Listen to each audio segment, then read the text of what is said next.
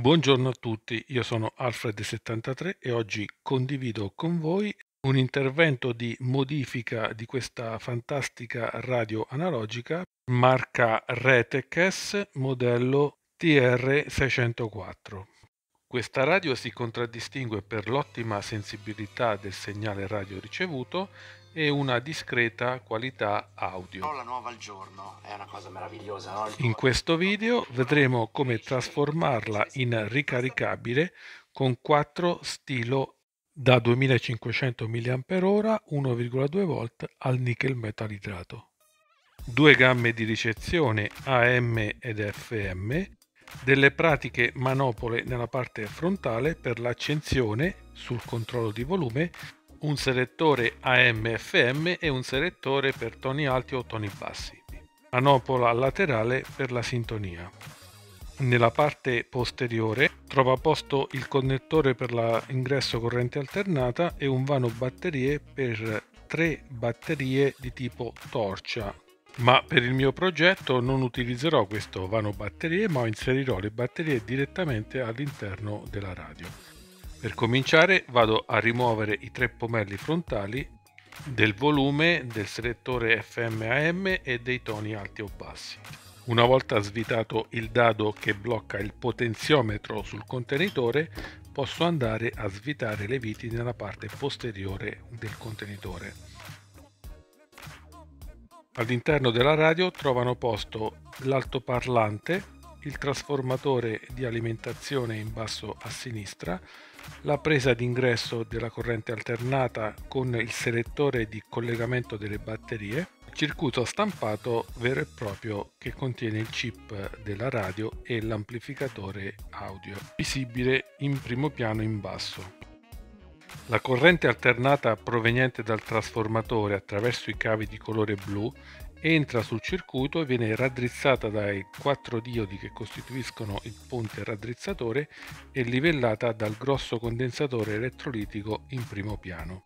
Ai capi di questo condensatore troviamo la tensione di alimentazione della radio. Conoscendo questa tensione possiamo calcolare il nostro circuito di ricarica per le batterie. Ogni volta che si collega l'alimentazione esterna un interruttore presente sulla presa d'ingresso della corrente alternata provvede a staccare le eventuali batterie contenute nel portapile. Viceversa, quando si toglie il cavo della corrente alternata, le batterie vengono ricollegate al positivo di alimentazione della radio. Io utilizzerò questo switch per agganciare o sganciare il mio caricabatterie. Per progettare e realizzare correttamente il mio circuito di ricarica delle batterie nickel metalidrato devo conoscere la tensione raddrizzata di funzionamento di questa radio.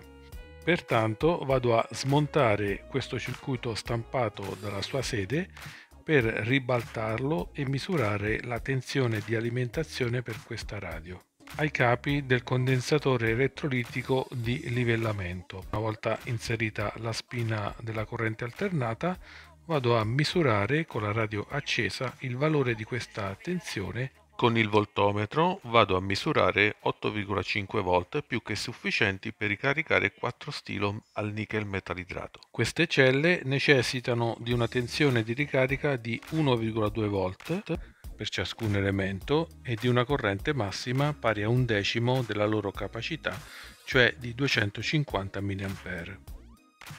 Ma vediamo il circuito di ricarica da me progettato per questo pacco batterie. Innanzitutto abbiamo la tensione di 8,5 V che entra all'interno delle batterie attraverso due resistenze in parallelo. Queste due resistenze poste in serie al pacco batteria permettono di ridurre la tensione a quella necessaria alla ricarica e riducono anche la corrente.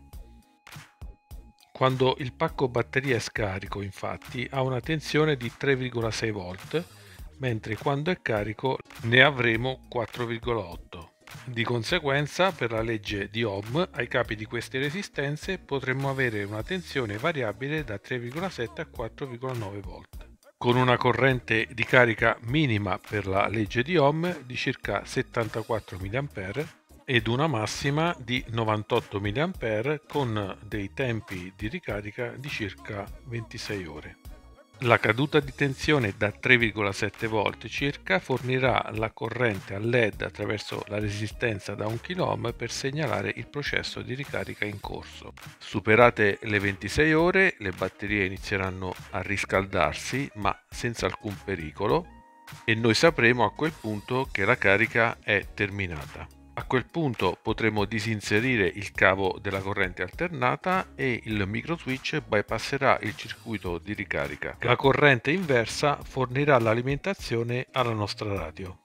Per cominciare procuriamoci 4 pile ricaricabili di tipo AA, quindi delle stilo da 2500 mAh sulla pila leggiamo le istruzioni di ricarica massimo 250 mA per 16 ore, ben al di sopra della nostra corrente di ricarica. Inserite all'interno dell'apposito portapile raggiungono una tensione di 4,8 V che vado a verificare con un voltometro. Queste pile che sono pressoché cariche hanno attualmente una tensione di 4,97 V. Con una basetta mille fori vado ad assemblare il circuito di ricarica. Mi procuro due resistenze da 100 ohm mezzo watt che poste in parallelo tra loro raggiungono una resistenza di 50 ohm e le vado a saldare.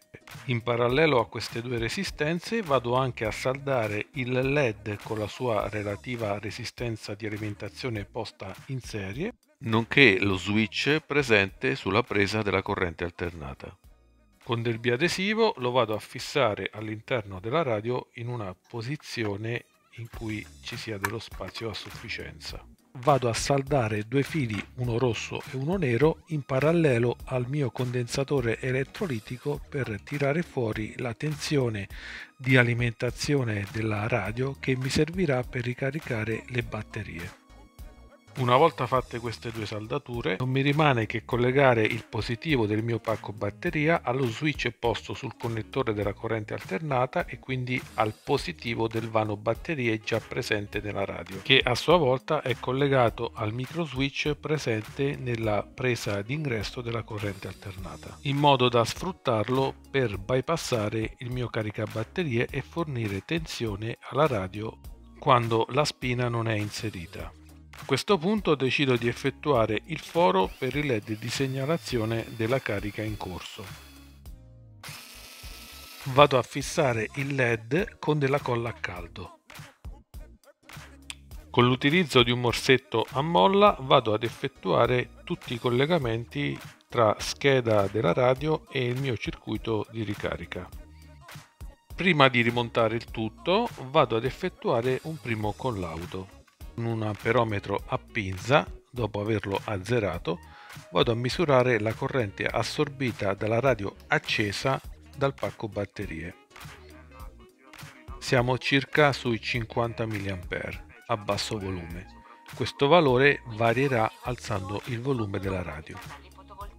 A questo punto, collegando il cavo di alimentazione di rete e accendendo la presa di corrente, noteremo che questa corrente rilevata dalla pinza diventerà di segno negativo appunto perché la radio sta fornendo energia al nostro pacco batterie ad una corrente di circa 66 mA. Bene, una volta verificato che tutto funziona correttamente non mi rimane che rimontare il tutto. E mentre io rimonto il tutto, voi che ne direste di mettere un bel like e di iscrivervi al canale per supportarmi? Grazie infinite per il vostro supporto.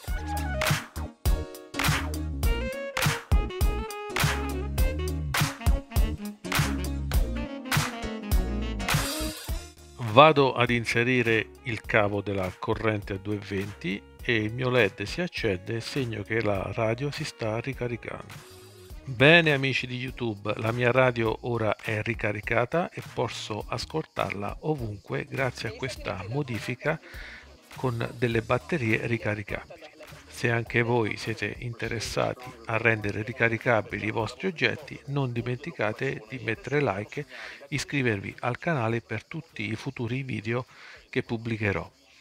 Grazie infinite e come al solito ci vediamo alla prossima volta.